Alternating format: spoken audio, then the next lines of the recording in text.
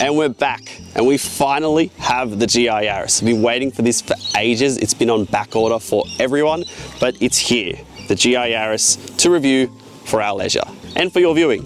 Before I get into it, please subscribe to the channel, the usual spiel and support us like that. It doesn't cost you anything and it helps us a lot. Anyway, let's get right into it.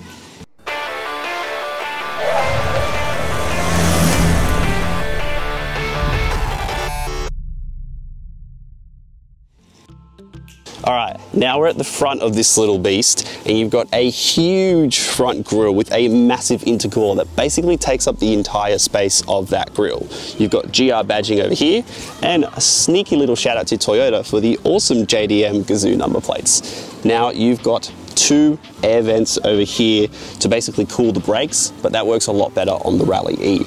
And you've got Yaris lights over here. Now there's three elements about this that are the same as the stock Yaris. It's the headlights, the tail lights, and the side mirrors. Now on the side, this car is built so differently to the stock Yaris. At the front, you're about 50 mil, so five centimeters lower than the stock Yaris, and at the back, you're 10 centimeters lower, which isn't good for sitting inside at the back, but it is for rally standards, so they could fit a huge exhaust on the back. On the top is a carbon fiber roof. That's right, there is a Yaris right here with a carbon fiber roof which is just to make it a lot lighter and it's got a nice polymer wrap on the top and a lot of aluminium that is around the car to make it a lot lighter. Something cool about this is that it was built in a cell, not on a normal mainstream production line, which is basically for one-off special editions like this. They take a Yaris and the back of a Corolla and build it by hand at the LFA factory, which is just insane for a car that costs 50K.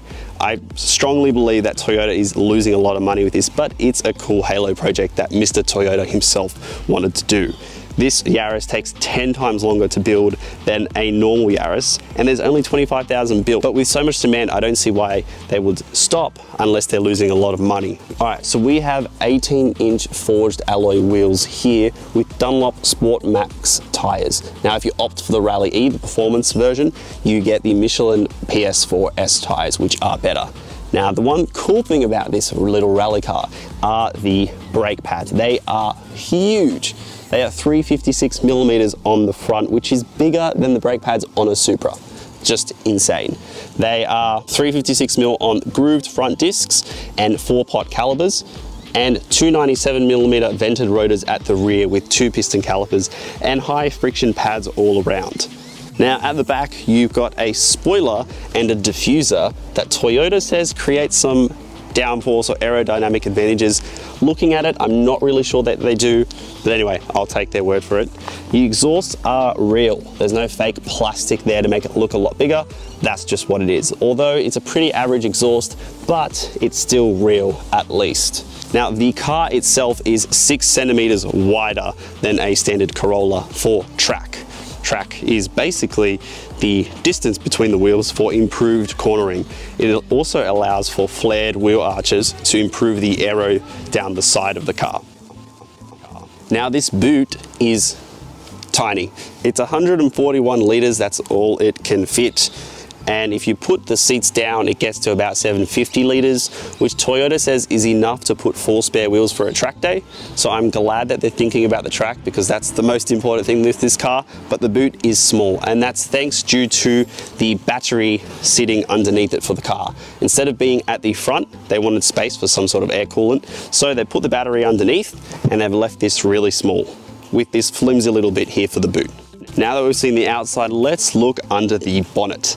Now, Toyota has made redeveloped this new three-cylinder 1.6 litre turbocharged engine, which is the most powerful three-cylinder engine in the world and the smallest and lightest 1.6 litre engine in the world. World records all round for Toyota. Now that's all in a car that weighs 1,280 kilos, which is just insane. It's got 200 kilowatts of power, and 370 newton meters of torque. In this tiny little Yaris, it's just mental, which comes to about 260 horsepower, although people on the dyno have seen it pull 270 or more. So they might be pulling a Porsche where they're lying about it and being really humble about their machine. All right, now I'm gonna try get in behind my driver's seat. This is the seating position I would be in Uh, and I could even sit further back, but I put a little bit forward. So I'm gonna show you how to squat in through somehow. All right.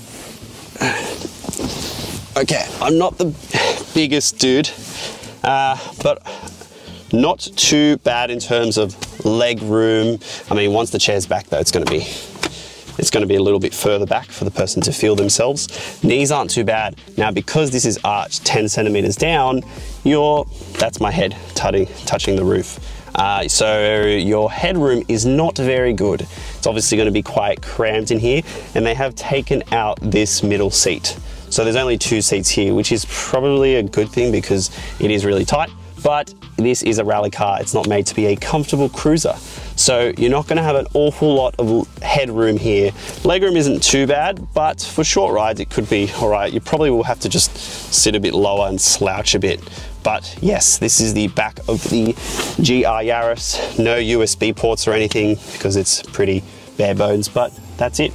Just be ready to hit your head if you are taller than me, which is 183 centimeters or about six foot.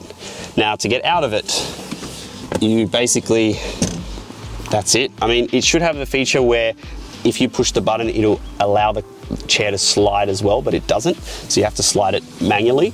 But let me get out of this. Oh, oh, that was bad idea.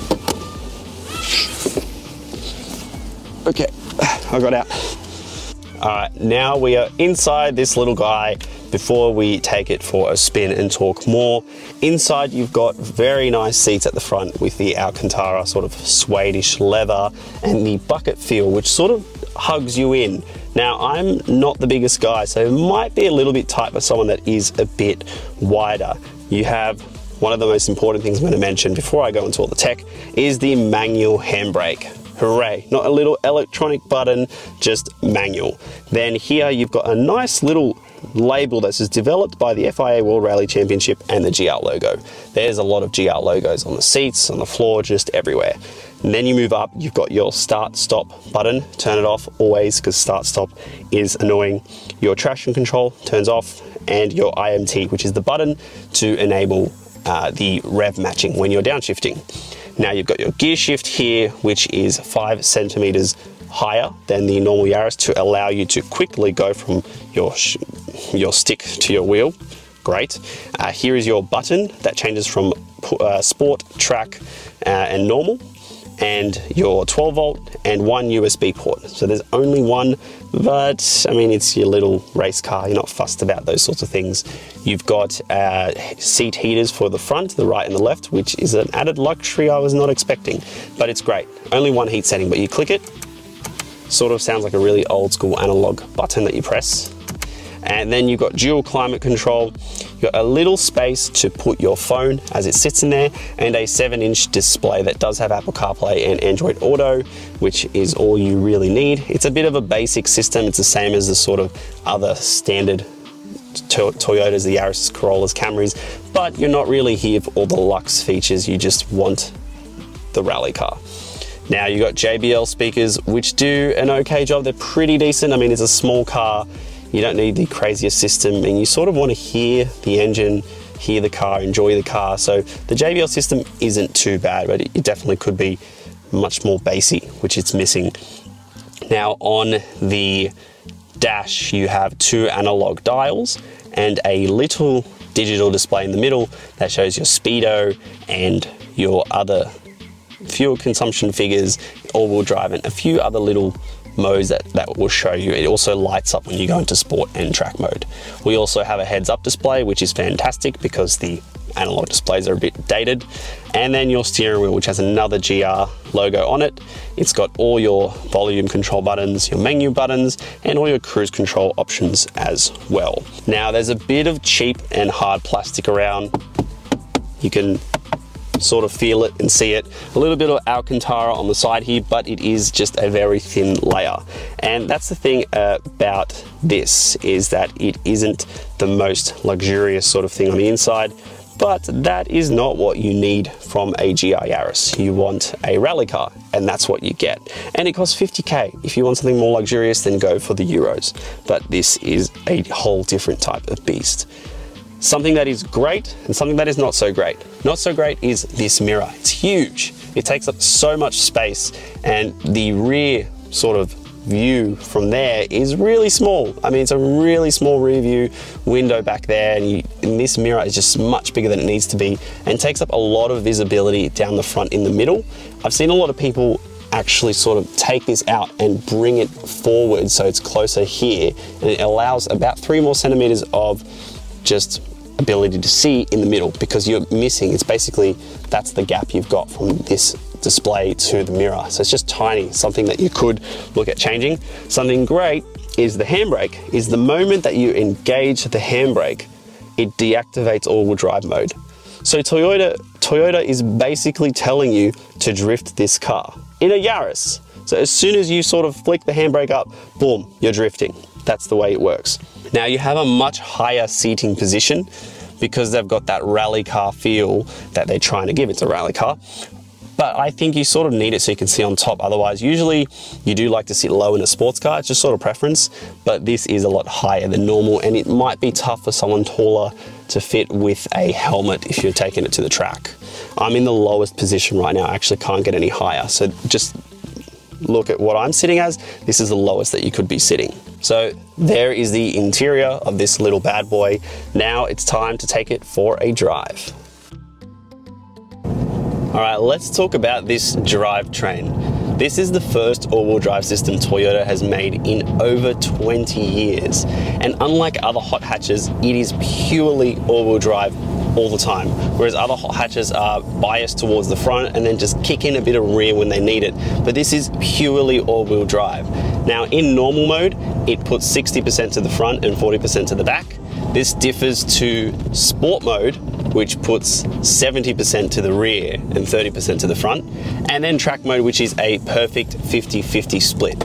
So your options are completely different, which is exactly what you want. If you want to go around windy roads, you use sport mode. If you're going to the track, then you use track mode where you need that traction and you need that all-wheel drive. What this all-wheel drive system means is 0 to 100 in 5.2 seconds. And everyone has recorded that as being much more than, much quicker than 5.2. A lot of people are hitting even fours on a stock Yaris GR. So it does unbelievably well. So the engine has a lot of competition focused elements, including things like multi-oil jet piston cooling, machine intake ports, and large diameter exhaust valves, as well as an aluminium oil cooler and high capacity pump. And what these do is enable the engine to open up better and to feel more comfortable when it's being pushed. And it will last, will be reliable. The single scroll turbo uses ball bearing internals for basically quicker spool up and the intercooler is just this really big cross flow sort of design. The pistons are pent roof, which basically means it can combust more efficiently without losing as much heat. And even though it's a three cylinder, it will last so you don't need to worry about that. Toyota reliability still stands. Now on the road, it feels really good. It's not going to be the most comfortable everyday cruiser, but you're buying essentially a rally car for the road. And it does that daily job quite well. If you want something that's more luxurious, more of a cruiser than other European alternatives might be best for you, but this still does a really good job. Road noise isn't too bad. It can get a little bit rattly at really high speeds on the motorway as such, but there is sort of this active noise control insulation that tries to stop that. Speaking of noise, the exhaust, it could be a lot better. There's no pops and bangs. Um, it's a three cylinder. What do we expect? They have emissions to follow. Um, it sounds okay. They actually augment the sound through the speakers from the engine um, just to amplify the sound, make it feel a little bit better, but it's still a bit disappointing. Um, you'll hear it in a second as I give it a bit of a push. Let's see what it's like. Sort of go here. It's it's okay. It could be a lot better. Now, the brakes are absolutely marvelous. They are spot on. You can sense zero brake fade. That's something incredible that they've done with this because they're so big, those huge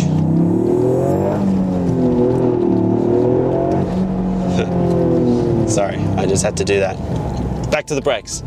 Brakes are exceptional. They do a really good job, as you would want in a rally focused car. It's direct and the size of the brakes on such a small car, it's just so rally-esque to put 360 mil brakes on a Yaris is just crazy. There's tricky aero everywhere from spats in the front of each tire to a lot of underbody covers and steps built into the inside of the rear bumper. So it's made to be better. And the reason that they put the Corolla from the back onto the Yaris from the front is that while the strut front suspension remains the same from the Yaris, although they retuned it with new knuckles, stiffer bushes, and so on. The rear swaps out the standard car's tiny torsion bar setup for a wider track, trailing arm, and a multi-link arrangement. And that wider track is six centimeters wider, which is just crazy, which means insane steering. Basically, thanks to the columns tricky construction there's basically next to no shock feeding from the wheel that you can feel when you're driving it.